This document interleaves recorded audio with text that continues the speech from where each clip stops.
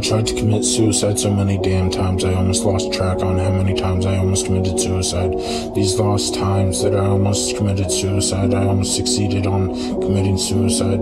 These five times that I lost track on how many times I almost committed suicide. Suicide's in my head because I'm almost dead. I'm thinking about killing myself right now, but I don't know. I'm thinking about all these thoughts in my head.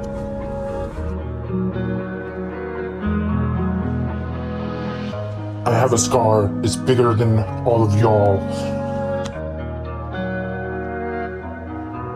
Cause y'all don't know what it's about, nah.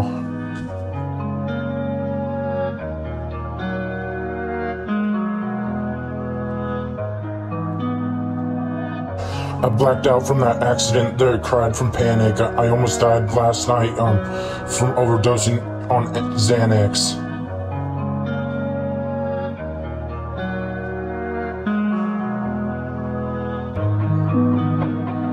The pain can't compare to anything that I inherited from my father.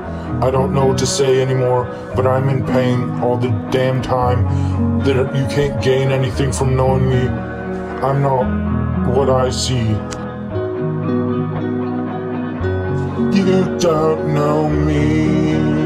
I am in pain now. I cut myself down, bled out, almost died, cried out.